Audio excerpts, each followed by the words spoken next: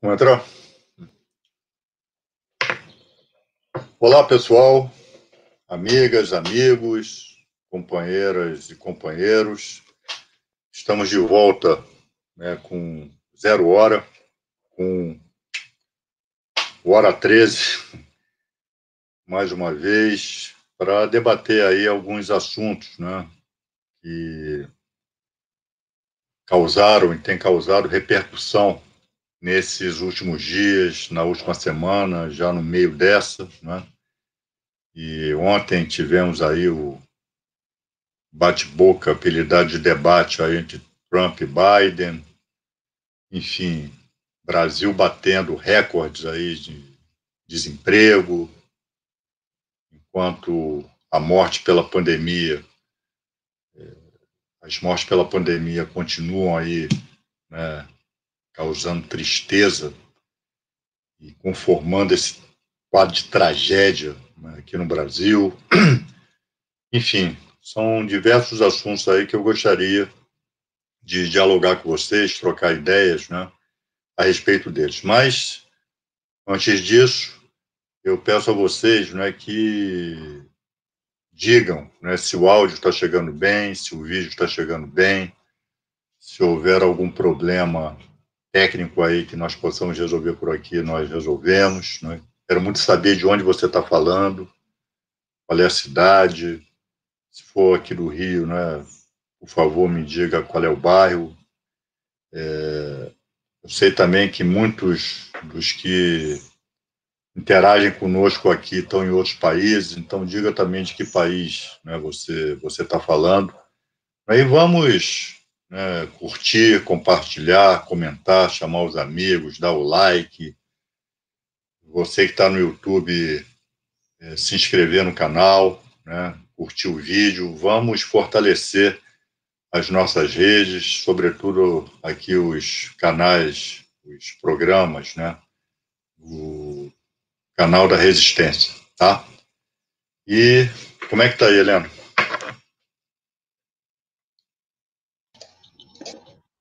Boa tarde, Adir, boa tarde a todos que nos acompanham.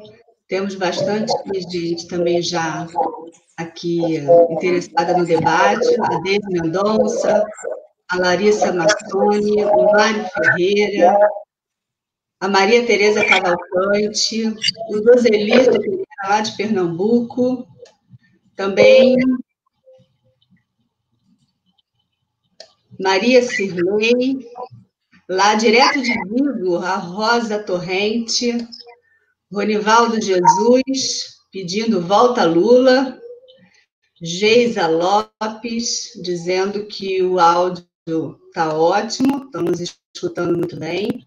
Do Rio de Janeiro, ela, a Maria Cirlei, a Ita Benevides, lá de Fortaleza, Manuel Coelho, de Maricá, Maria Estela da Bahia, Alexandre Benedito, aqui do Rio, lá da Tijuca, Jacques Chaban, de Campinas, Reni Baixo, de Salvador, a Patrícia Rabelo, Belcimar Albuquerque, lá de Brasília, a Ceissa Gomes, Rovilson Porfírio,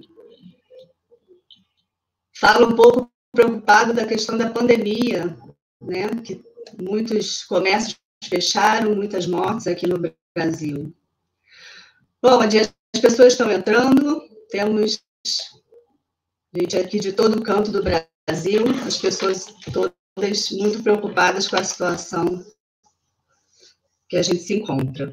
Mas para começar o nosso bate-papo, é, nós tivemos agora no dia 20 de setembro no Circuito Nacional de Vôlei de Praia, a manifestação de uma das jogadoras da dupla que venceu a medalha de bronze, se manifestando ao final com fora Bolsonaro. Isso acabou acarretando uma denúncia contra ela no Superior Tribunal de Justiça Desportiva, e o que estão querendo é a punição, suspensão e multa dessa jogadora. A gente queria escutar um pouco a sua opinião sobre isso. Será que a liberdade de expressão ela não vale no, no meio desportivo? Os, os, os atletas não podem se manifestar publicamente? O que, que você pensa sobre isso? É verdade. O caso da Carol, né, Carol Solberg, né, jovem jogadora vôlei de praia, é de uma lenda do vôlei brasileiro, a Isabel, né, campeoníssima. Isabel que foi brilhou nas quadras internacionais é, nas décadas de 80 e 90. Então, e a Isabel sempre teve um, a mãe da Carol, né, sempre teve um comportamento independente, temperamento aguerrido, né? Sempre, nunca teve papo na língua, sempre disse o que pensava a respeito das coisas. E a filha, ainda bem, né, vai na mesma linha da mãe, né? não só no esportivo, mas também nos seus posicionamentos, né? é, de não de não se intimidar, de falar aquilo que entende que deva ser falado. E como você já disse, Helena, informou, o, o, aí nessa partida de vôlei foi estava em jogo uma medalha de bronze, a, a dupla aqui a Carol integra, né? Ganhou a medalha e na hora da premiação ela gritou lá o fora Bolsonaro. Isso causou não é, rebuliço e de imediato a Federação Brasileira de Vôlei veio a público repudiar né, o comportamento da atleta e ficou sendo denunciada né, pelo Superior Tribunal de Justiça Desportiva. Né? Com base lá nos artigos 191 e 258 né, do Código Brasileiro de Justiça Desportiva. Estão pedindo para a menina é, punição aí de 5, 6 jogos, é, multa de 100 mil reais, pena máxima. Né? Então, 198, alegado, é, fala em deixar de ou dificultar o cumprimento de regulamento geral ou especial de competição também alegado artigo 258 do mesmo Código, fala assumir qualquer conduta contrária à disciplina ou à ética desportiva não tipificada pelas demais regras deste Código atitude antidesportiva. Primeiro, uma coisa, um negócio totalmente mal redigido, né? norma que nós tecnicamente nós podemos nós nós chamamos de norma aberta, né? Tipo aberto o que, é assumir conduta contrária à disciplina ou à ética desportiva? No que, que o fora Bolsonaro, que foi o caso né, da atleta Carol Solberg, dificulta o cumprimento de regulamento geral da competição, atenta contra a disciplina ou a ética desportiva. Né? Ou seja, isso deixa margem ao subjetivismo de quem vai aplicar o regulamento. E, obviamente, deixa margem ao subjetivismo do punitivista, né, que é o, o procurador, o subprocurador, que se diz, inclusive, antifascista. Né? A qualidade dos nossos antifascistas for essa, nós estamos mal. Mas não é não, isso é uma exceção. É, é, no que, que a atleta infligiu o regulamento. E mais, né? cabe lembrar, isso foi lembrado, que dois atletas de vôlei também, quando o Bolsonaro estava em campanha, né, é, manifestaram favoravelmente a ele. Né, fizeram lá o, o, lá o número dele, lá o 17, e, na época, a Confederação Brasileira de Vôlei corretamente entendeu que se de manifestação de pensamento, liberdade de expressão. Então, por que, que para os bolsonaristas né, vale a liberdade de expressão e por que a Carol Solberg não vale? Né? As pesos e as medidas são essas. É, o que vai valer? É o artigo 5 inciso 4 da Constituição, que diz claramente é livre a manifestação do pensamento, sendo anonimato. É livre a manifestação do pensamento. Está dito na Constituição, artigo 5 inciso 4. Ou esse regulamento mal escrito, mal feito, mal redigido e mal interpretado. O que é que é isto é a Constituição? Obviamente tem que valer a Constituição. Então, pessoal, isso é uma das características do fascismo ou do neofascismo, que, como queiram. Quando eles se manifestam, digam eles as maiores barbaridades, as maiores boçalidades, como normalmente dizem, como normalmente eh, se expressam, né? é, a liberdade de expressão. Se você vai criticar, eles alegam contra você liberdade de expressão. Em contrapartida, quando alguém se manifesta contra eles, né, aí é atentado à liberdade de expressão, dependendo de quem foi, dependendo do que falou, vem processo para cima, agora como estão fazendo com Guilherme Boulos, né? Estão, arguindo a lei de segurança nacional contra o Boulos. Então, isso é uma das características do fascismo, é, e que já está tentando fazer na, da Carol uma das suas vítimas. Né?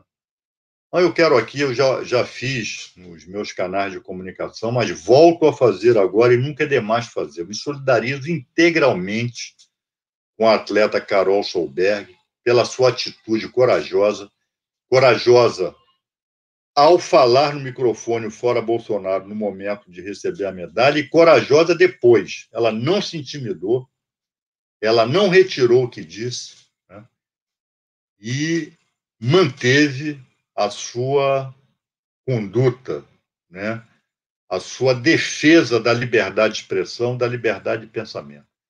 Se recebeu críticas selvagens, críticas não, né? Os ataques da boçalidade que viceja nas redes sociais, mas também recebeu muita solidariedade, recebeu muito carinho, muito apoio né, daqueles que, como eu, que, como nós, é, prezam pela liberdade de expressão, prezam pela liberdade de pensamento. Né? Então, fica aqui, mais uma vez, a nossa solidariedade à Carol, e eu espero que a Constituição prevaleça. Né? Estamos vivendo tempos né, em que é, tentam transformar a Constituição de 88. Né? Em, em muitos casos conseguem, num mero pedaço de papel, mas nunca é demais é, arguir a Constituição, já que, pelo menos formalmente, ela não foi, ela não foi revogada, né? É, a Carol tem toda a razão. O que ela fez foi expressar aquilo que a Constituição permite, que é, é cláusula pétrea, que é a liberdade de manifestação de pensamento. Né? São milhares dos brasileiros hoje que querem fora Bolsonaro. E a Carol não fez mais do que expressar isso. Né? Então, Carol, parabéns, né? E tomara que o seu desejo de fora Bolsonaro, que é o meu também, ele mais cedo do que nós queremos, do que nós pensamos, esse desejo se, se concretize. Como é que está aí, Helena? É, Wadia, as manifestações todas aqui de quem está nos acompanhando foi realmente nesse sentido, todo mundo se solidarizando, a Carol dizendo do, do quanto ela expressou realmente essa vontade geral, né? Agora, Cacau Glória, ela lembra que talvez essa, essa decisão, essa denúncia, ela seja, tenha dois pesos e duas medidas, né? Porque quando mandaram a Dilma para aquele lugar, na época da, da presidenta Dilma, ficou por isso mesmo. Ninguém se, ninguém foi denunciado, não teve manifestação contrária, né? Não, a Cacau tem toda a razão. É, na época, lá, quando o golpe estava em marcha, quando a perseguição ao Lula estava no auge, é, diversos, é, diversas personagens das mais diversas áreas, né, inclusive da área esportiva, é, se manifestaram inclusive no baixo nível, xingando, achincalhando, né? É, é, é, e tudo ficou na conta da liberdade de, de expressão, na liberdade de pensamento. Agora que a menina simplesmente expressa algo que milhares de brasileiros expressam diariamente, que é o fora, que é o fora Bolsonaro, estão perseguindo a menina. Né? A Cacau tem toda a razão.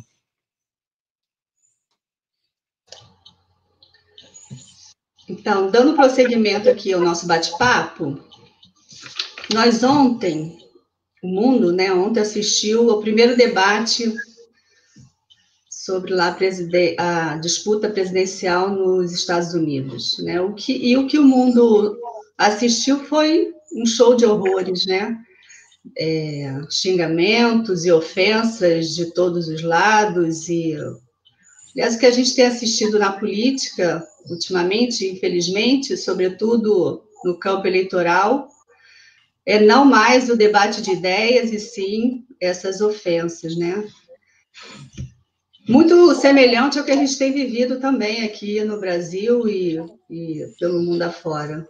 O que, que, você tem a comentar sobre isso? O que, que você considera de positivo e negativo nesse, nesse aspecto? Olha, eu, eu, assisti pelo menos parte do debate, né? Nossa, é, de fato. E a, a primeira, a primeira questão que me vem à mente, que me veio à mente enquanto eu estava assistindo, é que nós não precisamos, né, pelo menos em relação à qualidade de debates eleitorais, debates políticos, nós não precisamos é, estar tomados pelo um clássico sentimento né, de complexo de vira-lata. Né? Ou seja, poxa, quando tem debate aqui no Brasil, poxa, que baixo nível, né? Em outros países não, não deve ser assim. Em outros países mais avançados, mais civilizados, não é assim. Está aí os Estados Unidos para nos desmentir, né? É, e isso também mostra o que se viu ontem? Foi mais uma rinha de galos do que propriamente um debate, foi mais um, um ringue de vale tudo, né? do que um debate de qualidade, mostra o quanto a política está rebaixada, né? o nível da política foi rebaixado em todos os quadrantes, não é só aqui no Brasil, não. Né? E, sobretudo, por conta da entrada na arena né? é, dos fascistas. Né? Então, nós vemos como Bolsonaro e o bolsonarismo né? rebaixaram a política aqui no Brasil e como Trump é, rebaixou a política em escala mundial, em escala planetária, né, nos Estados Unidos. Então, o que nós vimos ontem não é, foi se alguém queria saber exatamente, quem se interessou em assistir ao debate para saber qual é o pensamento dos dois candidatos na, na, mais importante das eleições que ocorrem no planeta, que são as eleições dos Estados Unidos, é, saiu decepcionado, porque que viu ali foi uma troca de ofensas, né? Aquela coisa tradicional de candidatos que não tem muito o que dizer, né? Que contornam perguntas embaraçosas, né? E é claro que o Trump se, se superou, né? É, uma das debilidades do candidato democrata, o Joe Biden, né, que é apontada lá pelos, pelos colunistas, pelos jornalistas, né, por, enfim, por quem acompanha as eleições nos Estados Unidos, né, é a sua dificuldade em compor raciocínio, né, ele teria o raciocínio lento, ele se embaraça nas respostas, né, comete gafes, né, tem lapsos de memória. Então, o Trump é, é, foi para o debate para explorar essas reais ou supostas debilidades do adversário, né, do, do, Biden. Toda hora interrompia, né, toda hora tentava interromper o raciocínio do Biden, mas que acabou não se deixando, o Biden acabou não se deixando enredar, não. Né? Parece que ele foi, foi bem treinado, foi bem preparado. Agora, é claro que muitas vezes retorquiu ao, ao Trump na base também do xingamento. Uma hora chamou de palhaço, cala a boca, enfim. Agora, aquilo que efetivamente se quer saber dos dois, né, é, ninguém, né, ninguém conseguiu alcançar, ninguém conseguiu ver enunciado né, itens programáticos é, por parte dos dois, dos dois candidatos. Né. O Partido Democrata mostrou que prefere né, é, correr o risco do fim do mundo, ou seja, da reeleição do Trump, a apresentar um candidato mais aguerrido, um candidato mais progressista, mais, mais, mais antenado com justiça social, que seria, no caso, o senador Bernie Sanders, né? Mas preferiu ir Joe Biden, né? que é um conservador. Né? Agora, houve um momento em que o Brasil foi citado, né? É, o que diz respeito à Amazônia, né? que ele fez é, Biden fez claras ameaças, né? acenou com financiamento, mas ao mesmo tempo acenou com sanções é, se o Brasil não tomar medidas né, é, é, é para parar essa devastação que está acontecendo com o bioma amazônico. Né? Não nos iludamos com isso, pessoal. Isso, no que diz respeito à política externa, é tradicional nos Estados Unidos, não há muita diferença entre democratas e republicanos. Não há. Né? Ambos são imperialistas. Né? Ambos são imperialistas, os dois partidos. Vocês lembram em Bernie Sanders, quando se tratava da Venezuela, ele fazia acordo com o governo Trump. Né? Então, é, é, essa suposta preocupação dos Estados Unidos, e não só dos Estados Unidos, de outros países também imperialistas, com o Amazonas, com, com, com a região amazônica, é, ela é ela é de cobiça, ela é de intervenção, ela é de interferência. E ao dar esse tipo, ao fazer esse tipo de ameaça, ele acaba favorecendo o Bolsonaro, né, que pintou hoje como nacionalista, pintou hoje como galinho, né? como galo de briga, né? verde amarelo, né? Se dizendo defensor da Amazônia, se dizendo defensor da soberania nacional. Então, esse tipo de, de declaração acaba é, fortalecendo quem está promovendo a devastação né, da região amazônica, que no caso é, é Bolsonaro e seu governo. Né? Então, enfim, mas o debate ontem né, foi uma coisa trágica, não é? é? E mostra como a extrema-direita, como o neofascismo é, rebaixa a política, né? joga a política uma arena, para um pântano, né, em que dali não emergem ideias, dali não emergem, não se anunciam formulações, não se dá um norte né, a quem vai votar, né, por que está votando, né, em quem está votando, em que programa está votando. Né.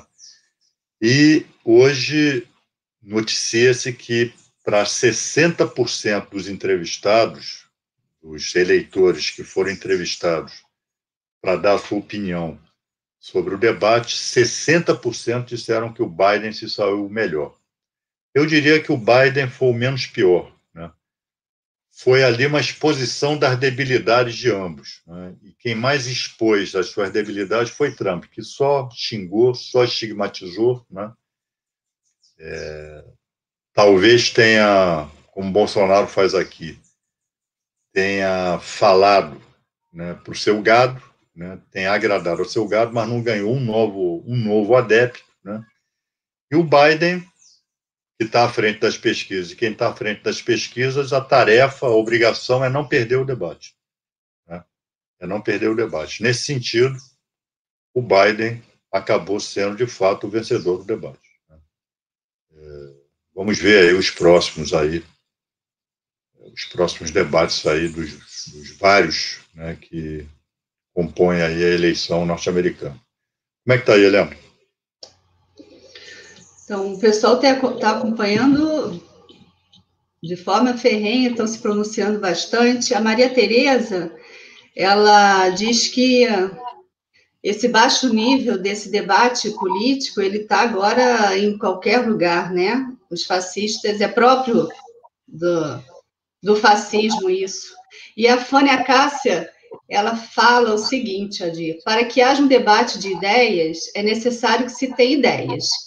O mal político não tem ideias, é feito de vulgaridade e ignorância, e isso não é privilégio da política no Brasil. Tem toda a razão.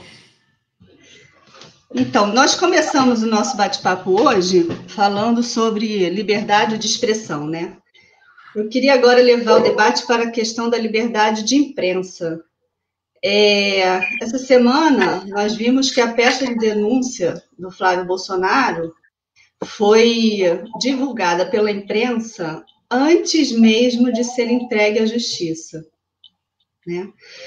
E uh, daí a gente vê duas questões. Uma é sobre o próprio Ministério Público, né, como que essa peça chega à imprensa antes dos trâmites internos, e a questão da própria imprensa, né, qual é a responsabilidade que se deve ter mediante uma informação dessa, que acaba interferindo né, no próprio andamento é, do processo. O que, que você pensa sobre esse episódio lamentável? Essa questão do vazamento, do vazamento de informações, de documentos, de peças, né, que estão em segredo de justiça ou ainda sequer ganharam tramitação, ganharam movimentação no processo e são divulgados pela imprensa, isso ganhou ganhou muita publicidade, né, gerou muito debate no auge da Lava Jato. A Lava Jato foi a campeã de vazamentos, né, vazamentos seletivos para a imprensa. E isso tem, isso tem um objetivo. Né? É, quando se vaza a imprensa, e normalmente se vazam coisas desfavoráveis aos acusados, aos investigados né, já para criar um clima, né, já para criar uma, uma comoção contra o acusado. Eles fizeram isso com Lula, né? Vocês lembram? Todo dia o Jornal Nacional vinha com vazamento né? De uma manifestação de um procurador, de uma peça, de um, enfim. Né? Sempre no sentido de ajudar na acusação. E aquilo e quando nós questionávamos isso, sempre nos era dito: não, tem que ver quem vazou. O funcionário que vazou, agora, funcionário que vazou. Quem vazava era Sérgio Moro, era Dallagnol, pô. Isso era. Qualquer imbecil, qualquer idiota sabia disso. Né? E nunca aconteceu rigorosamente nada com eles em relação a isso. É... Mas a imprensa é sagrada. Né? o direito à informação, se caiu na mão da imprensa, ainda que fosse sigiloso, ainda que não devesse ter vazado, né, essa proibição é para o funcionário e não para a imprensa. Esse debate ele não é ele não é ele não é exclusivamente brasileiro não, ele não é exclusivamente nacional, né? Isso acontece em outras partes do mundo. E há dois grandes modelos em relação ao tema.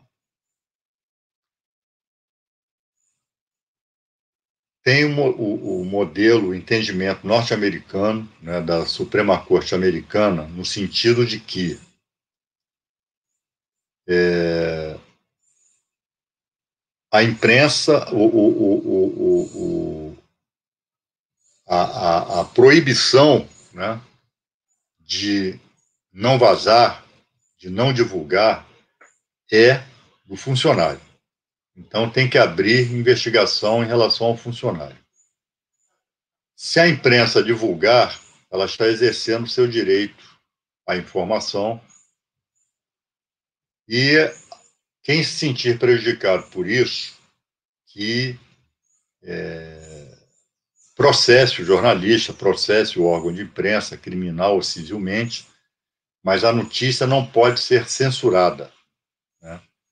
É, tem que se garantir o direito a que seja publicado, ainda que houvesse vedação legal para que essa informação circulasse. É, então, no, o Brasil adotou, adotou em parte esse entendimento da relação com a imprensa, né, que a Suprema Corte estabeleceu como padrão, como standard, né, como, como parâmetro.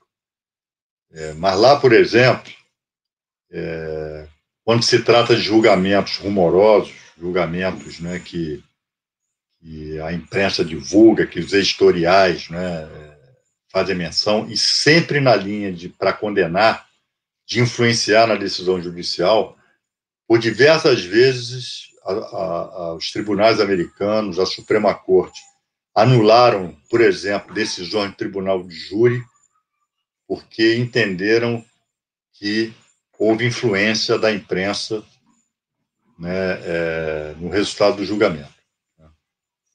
Então, desaforavam, não era mais o júri daquela cidade que passaria a julgar o processo, seria o júri de outra cidade, enfim.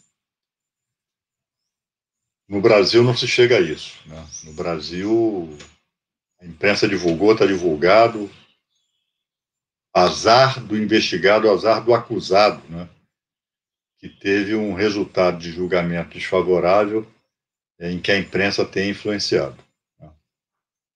Né? Até porque não se reconhece que a imprensa tem influenciado, aqui no Brasil. Mas a linha é essa. Né? A linha adotada aqui no Brasil é a linha norte-americana. É, a imprensa tem o direito de divulgar. Já na Europa, já não funciona assim. A imprensa não tem o direito. E ninguém vai dizer que os países europeus não sejam países democráticos. São tão democráticos quanto os Estados Unidos. Né? É, apenas é um entendimento diferente. A proibição de divulgar, a proibição de se manifestar é, em julgamentos por editoriais ou por, enfim, por opiniões, né? dando palpite no resultado do julgamento ou divulgando matéria sigilosa que contida no processo, essa proibição se estende, proibição ao funcionário, ela se estende à imprensa. A imprensa não pode divulgar.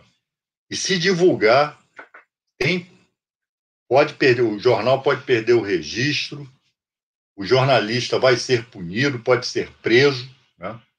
paga multa milionária, mas não pode. Né? E o que, que nós estamos vendo? Por que, que nós estamos tratando desse assunto? O Globo ontem divulgou a peça de denúncia do Ministério Público do Rio de Janeiro contra Flávio Bolsonaro. Divulgou o inteiro teor da peça. Antes que ela chegasse à justiça. E o que, que o Ministério Público do Rio de Janeiro fez? Suspendeu a tramitação da, da denúncia, não ofereceu a denúncia. E aí? Quem é que vai me garantir que isso não foi proposital no sentido de. É, não, mas é, é uma notícia negativa ao Flávio Bolsonaro, sim, mas acabou sendo positiva a ele porque o, o procurador-geral brecou o oferecimento da denúncia. Né? E alguém aqui ao longo desse tempo, conhece algum funcionário ou funcionária que tenha sido investigado e punido por esses vazamentos? Se alguém conhece, por favor, me dê o nome, né? porque eu desconheço. Eu desconheço. Então, é... e aí? Você fica com a linha né, do que acontece na Europa ou fica com a linha do que acontece nos Estados Unidos. É, é, é, eu vou, eu não vou fugir do pau não, não vou fugir da, de dar minha opinião não. Eu fico com a linha europeia. Eu fico com a linha europeia e não considero isso censura. E não considero isso censura. É, se vai se divulgar algo né, que signifique é, obstáculo às investigações, signifique né, favorecimento ou prejuízo para quem está sendo investigado ou está sendo acusado, a, a, a, a, imprensa deveria ter a responsabilidade de não divulgar, é, de não divulgar aquilo que a lei considera sigiloso. Né? A, qual seria o problema de o Globo divulgar o inteiro teor da peça depois que ela tivesse sido enviada para a justiça? E se está correndo em sigilo de justiça, há um motivo para isso, que eu acho que a imprensa não deveria desrespeitar. Mas, aqui no Brasil, o que vigora é isso, aqui no Brasil a Constituição assegura, aqui no Brasil a jurisprudência do Supremo Tribunal Federal é nesse sentido. Se eu pudesse interferir para mudar isso, eu interferiria. Eu iria pela linha do que acontece do que acontece na Europa. Acho que é mais democrático e assegura a imparcialidade, o, o, o ameniza a tentativa de quebra de isenção por parte do sistema de justiça na hora do julgamento, no sentido de a imprensa estar querendo, estar querendo interferir no resultado do julgamento. Mas isso é um debate aceso, é um debate né, que nunca vai ter fim, mas no Brasil né, segue-se a linha norte-americana. Né? Se vazou paciência, caiu na mão da imprensa, a imprensa, a imprensa divulga. Né? Isso nem sempre, se ao mesmo tempo isso assegura é, uma total liberdade de informação por parte da imprensa, mas, por outro lado, isso não assegura a imparcialidade né, dos julgamentos é, que estão em andamento aqui em nosso país. Né? Então, eu, particularmente, tenho esse, tenho esse entendimento e gostaria de saber qual é o entendimento de vocês. Como é que está aí, Helena? Bom, Adina, a maioria das manifestações aqui está nesse mesmo sentido, não considerando isso como uma censura, a Cacau Glória, que está participando bem ativamente do debate, ela diz que é uma medida adequada para não prejudicar as partes do processo, né? E a Maria da Glória, ela afirma que está tudo combinado com a Globo. Bozo, a Globo, todo mundo combinado para favorecer essa família, né? Como essa família está sendo chamada. Hum. Só para complementar o que eu disse, é, mais à frente o, o, Flávio Bolsonaro pode alegar nulidade de todo o processo. Estava né? sob sigilo e, e, e, e, tem um vazamento, mais à frente ele, ele argui a nulidade, com chance de ver a nulidade acolhida. Né? Como é que se divulga aos quatro ventos é, algo que estava sob sigilo legal, né? o sigilo judicial.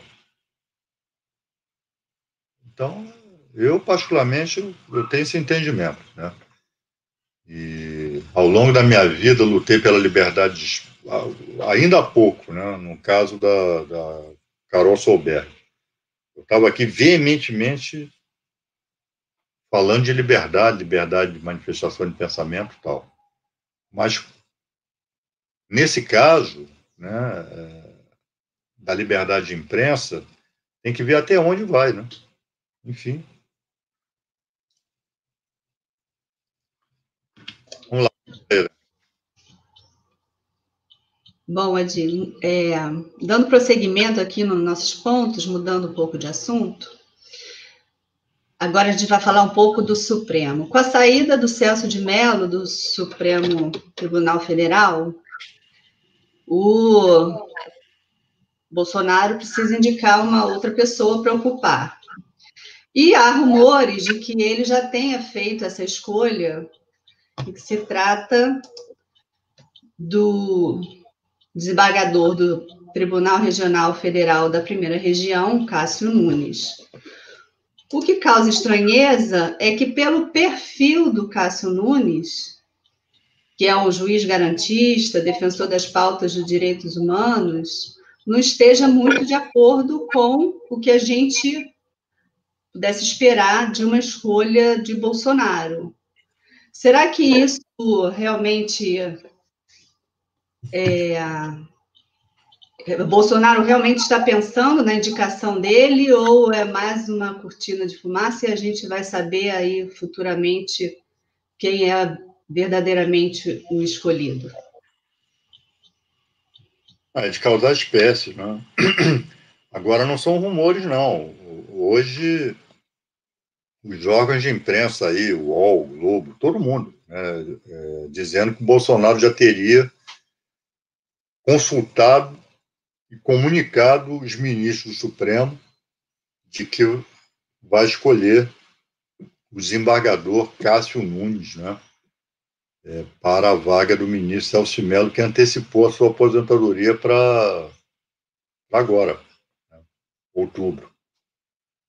É, duas coisas chamam a atenção. Uma, você já destacou o fato do perfil do desembargador Cássio Nunes é, não se, se conformar, não se adequar não é, ao padrão Bolsonaro, de má qualidade, de reacionarismo, né, de boçalidade. Né?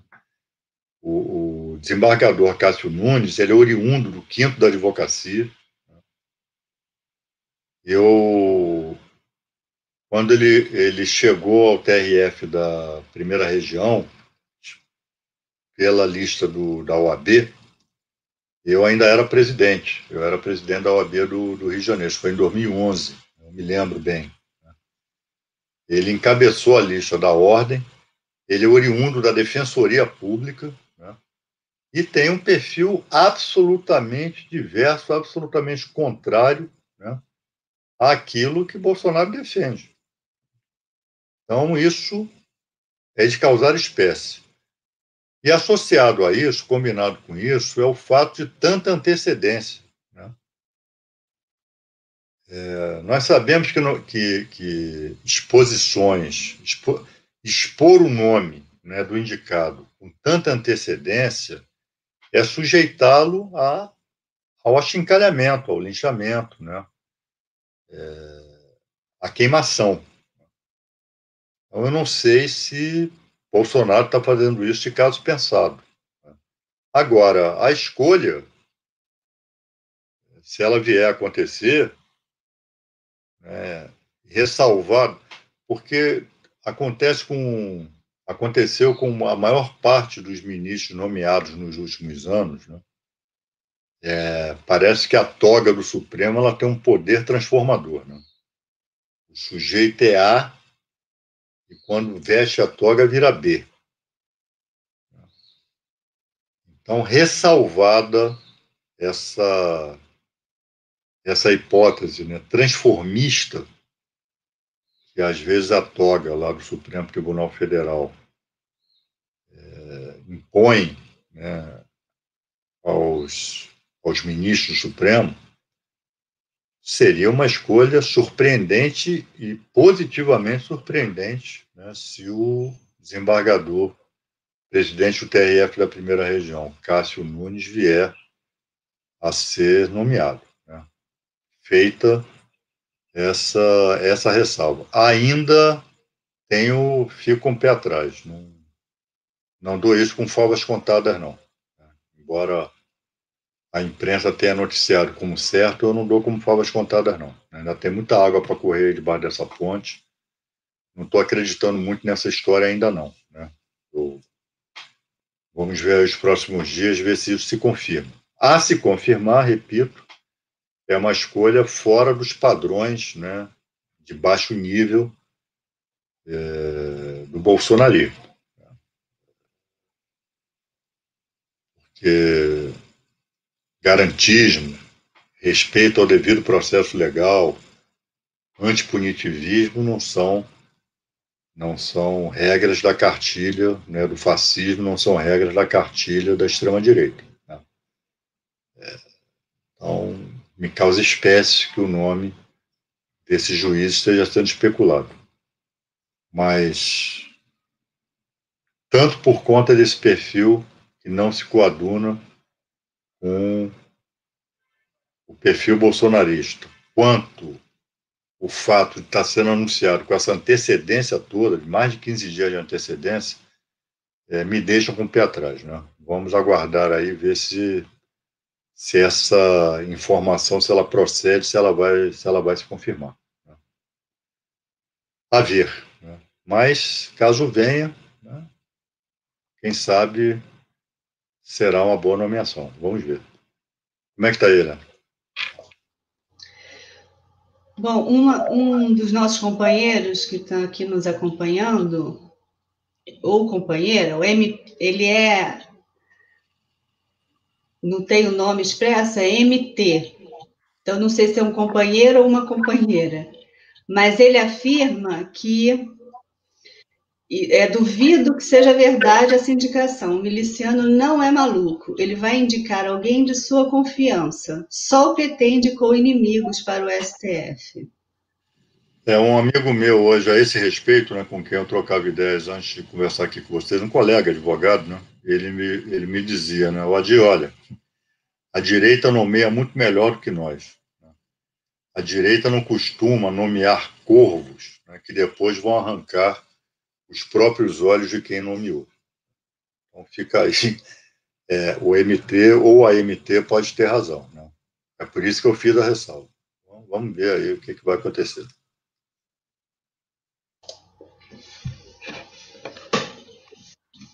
É.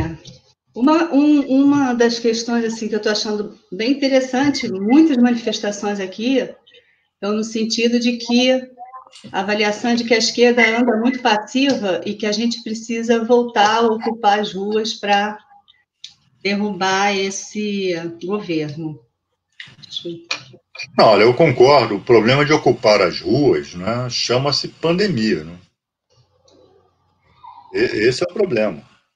A pandemia, num determinado sentido, essa tragédia acabou por ser positiva né, é, para Bolsonaro, porque impede que manifestações de rua aconteçam como eu concordo, deveriam estar acontecendo.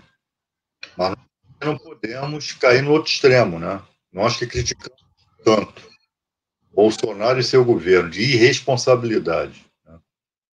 como de fato mostrou ser. É, no enfrentamento com a pandemia, nós não podemos também, não é? é enfim. Vocês veem, só aqui no Rio de Janeiro, a, a, a, o vírus voltou a atacar, não é? Por quê? Praia lotada, bares lotados, né? Então, infelizmente, nós ainda não estamos né, em condição de estarmos fazendo grandes manifestações. Estão fazendo falta de fato. Né?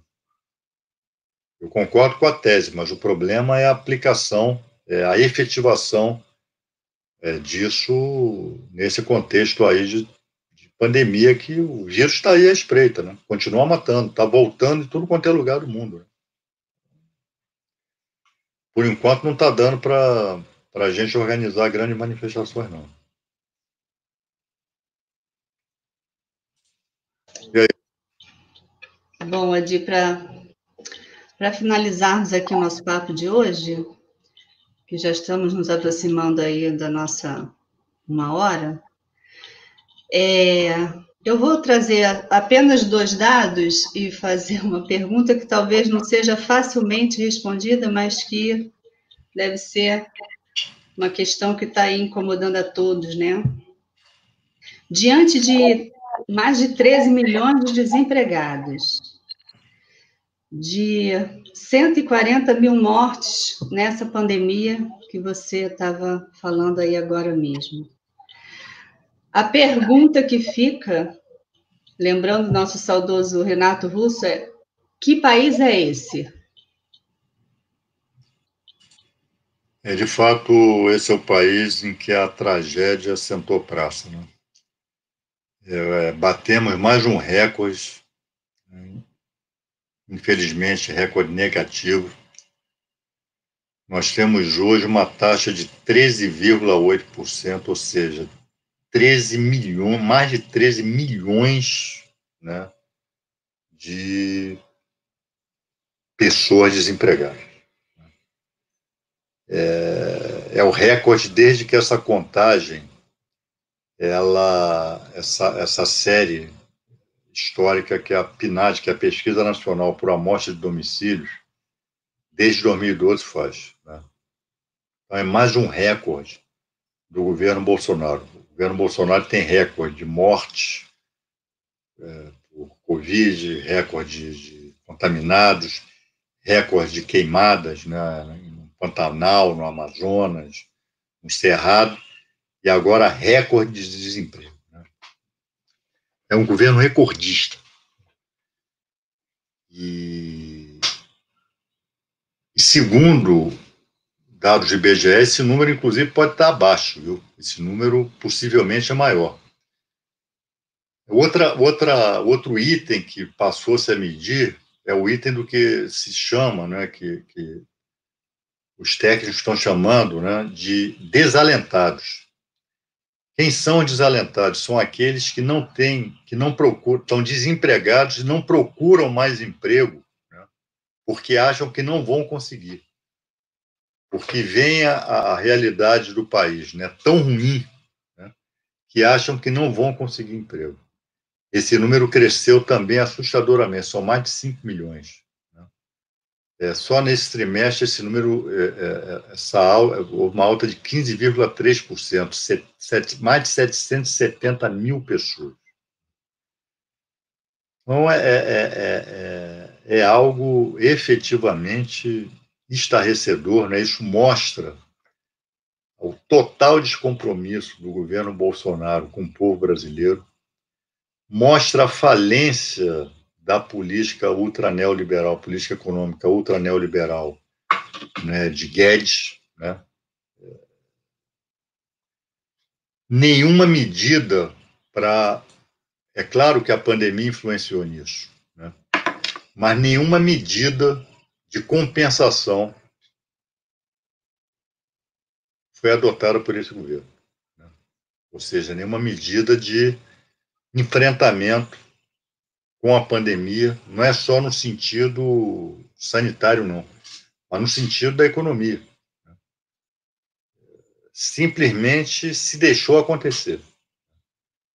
E temos aí essa marca de mais de 13 milhões de pessoas desempregadas. Nós sabemos o que isso significa como tragédia pessoal, mas tragédia socioeconômica, nós, nós sabemos o que isso significa em termos de desesperança, em termos de instabilidade social, em termos de crescimento, é, de, de, em termos de insegurança pública.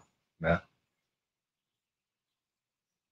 Então, tudo isso vai para a conta do seu Bolsonaro, né, que não tomou qualquer medida aceitável não tomou as medidas que lhe competiam tomar né, como chefe de governo, como chefe de Estado. E estamos assistindo a esses irmãos brasileiros é, passando fome, desempregados, né? sem contar com esses milhões de desalentados, aqueles que sequer vão procurar emprego porque acham que não vão conseguir. Ou seja, Bolsonaro é fator de desesperança. Guedes é fator de desesperança, de desalento, né? porque não sinalizam, não adotam uma medida né, capaz de, ao menos, amenizar esse quadro que, obviamente, a pandemia trouxe. Embora, antes da pandemia, nós já estivéssemos numa, numa escalada de desemprego, numa escalada de perda de postos de trabalho, por conta da política econômica que vem desde lá de Michel Temer e que Guedes só agravou, Guedes só aprofundou. Né? Então, infelizmente, esse é o país, né? esse é o país que nós temos hoje, infelizmente. O país que já foi o país do pleno emprego, país que era apontado como exemplo de políticas públicas sociais, né? País em que o seu presidente, no caso o presidente Lula, era chamado para explicar ao mundo né, como conseguiu tirar do mapa da fome milhões de brasileiros, como conseguiu colocar na linha de produção, na linha do emprego, milhões de brasileiros. E hoje tudo isso está sendo destruído, devastado, queimando como cinzas, né? A exemplo do que acontece lá na Amazonas, na Amazônia, no Cerrado, no Pantanal. Né? Então, esse é o país, esse é o Brasil de hoje, é o, é o Brasil de Bolsonaro. Isso mostra para nós o quê? Que nós temos que ficar desalentados, temos que ficar passivos, né? esperando por dias melhores, ou nos recolher ao nosso desespero, não, pelo contrário. Isso mostra que nós temos que reagir. Isso mostra que nós temos que é, fortalecer o fora Bolsonaro, né? não aceitar que Bolsonaro governe até 2022. Então, isso mostra que temos que começar a dar o um não, não só com mobilizações que, infelizmente, a pandemia ainda não permite que elas aconteçam em toda a sua plenitude, mas nessas eleições de 2020, dá, como Brizola diria, né, um rotundo não ao bolsonarismo, a Bolsonaro, né, e impor-lhe uma derrota eleitoral, pavimentando o caminho para 2022, caso ele consiga permanecer no governo até 2022. Então, nós não temos o direito de não termos esperança, nós não temos o direito de achar que está tudo perdido. Muito pelo contrário, nós temos o dever de reagir. Né? Esses números são, de fato, números estarrecedores. Nós não podemos aceitar que Bolsonaro leve o Brasil lá para o fundo do pântano, como ele está tentando fazer. Né? Cabe a nós reagir. Mais alguma coisa aí, Helena? Não, só é, a, a, pergunta que foi feita, né? Que país é esse? Alguns de nossos companheiros manifestaram também aqui suas, suas respostas. Seria o país do ódio, o país da desigualdade, o país da impunidade, um país adoecido que mata o seu povo. É verdade, mas o povo brasileiro vai mostrar que o Brasil é maior que isso. Né? E para finalizar, Adi, porque chegou agora há pouco, a Eliane Fulgêncio manda um abraço para você e para o Pimenta. Um abraço, e Eliane. E o Gabriel Galvão pede que você mande um beijo para tia Cíntia Mia, porque ela é fã do canal e fã aqui dessas um beijo pra, Um beijo para quem?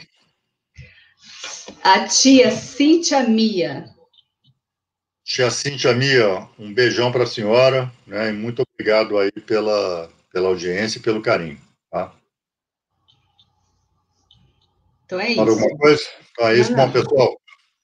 Então já chegamos aqui a uma hora de programa, tá? É, muito obrigado aí pela paciência de vocês, pelo carinho. Né? E quarta-feira que vem nós voltamos com mais um Hora 13, tá? Um abração, boa semana para vocês, muita luta, muito esperança e disposição para o combate. Tá? É disso que nós estamos precisando. Tá? Um abração. Tchau.